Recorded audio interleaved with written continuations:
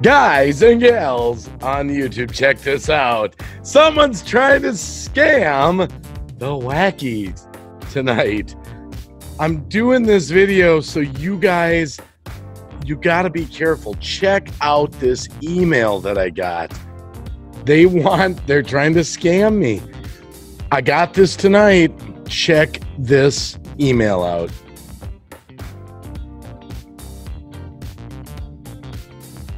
There it is. Hello, Green Bay Wacky. We received a complaint that there are many spam videos on your YouTube channel. Oh no! But you don't have to worry. We'll review your channel by our YouTube team and we'll let you know by email. In the meantime, we recommend you not to upload new videos. Just fill in the following information and reply to this email. Otherwise, if your channel is not reviewed by our YouTube team, your channel will be closed. Oh no!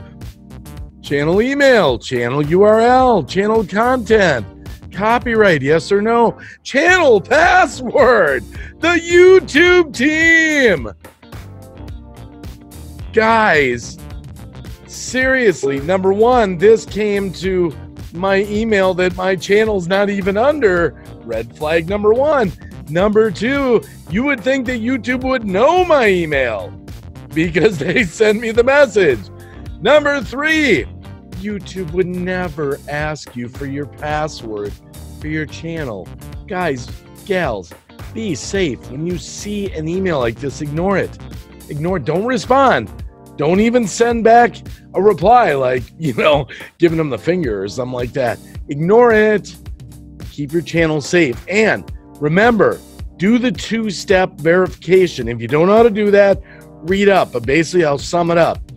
When you sign into your YouTube, your Google account, it sends a message to your phone, your own cell phone, and you have to confirm that it's actually you signing in. Okay, safe tips from Green Bay Wacky. I was trying to get scammed tonight by somebody out there. Losers! Losers! Losers!